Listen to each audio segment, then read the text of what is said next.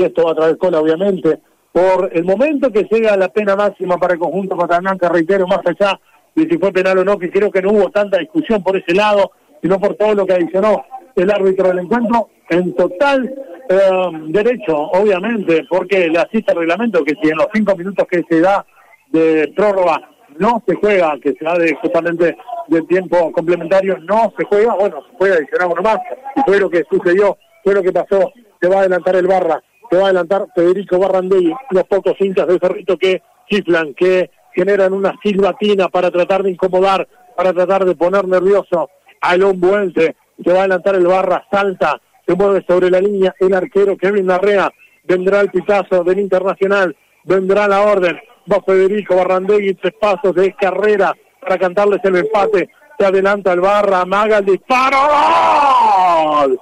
¡Gol! De Plaza Colonia,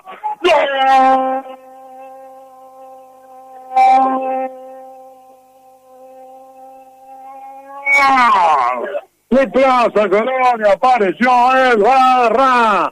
Federico Barrandelli, arquero un lado, pelota al otro, le pegó arriba contra el caño zurdo, la realización, el paro de derecho, y se quiere matar la gente de Cerrito, con el gol de penal de Federico Barrandelli, lo empata el pata blanca, Cerrito 1, Plaza Penal de Oro en el Parque Palermo. Seguinos en Instagram, Sacramento Cancha de Fútbol.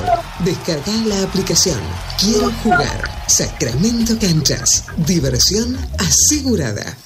Y no va más, amigos, en este preciso instante. Andrés Cuña pita el final. Plaza se lleva un empate de arriba, ¿eh? Créanme que el conjunto Patablanca no jugó bien de los peores partidos en este último tiempo del equipo coloniense contra 10 de Cerrito, no podía conseguir el gol, el pata blanca, se demoró muchísimo Cerrito, hizo mucho tiempo en el final, dejó jugar un minuto más, Cuña y termina cobrando el penal, se agarra la cabeza Perujo, se agarran la cabeza los jugadores de Cerrito, totalmente desconsolados porque tenía esta victoria casi avanzada. Frente Plaza que hoy no estuvo, ¿eh? Frente Plaza que jugó realmente muy mal, pero consigue una igualdad muy importante el equipo Pata Blanca que le permite seguir sumando en estas últimas tres fechas, empate contra Torque visitante, le ganó Wanderers en Colonia y ahora empata frente a Cerrito, un punto importantísimo también para el conjunto coloniense para seguir con esta racha sumando para recuperar el equipo de cara al intermedio, barajar y dar de vuelta y empezar a mover alguna pieza, pero lo importante es que Plaza en estos últimos tres partidos no ha perdido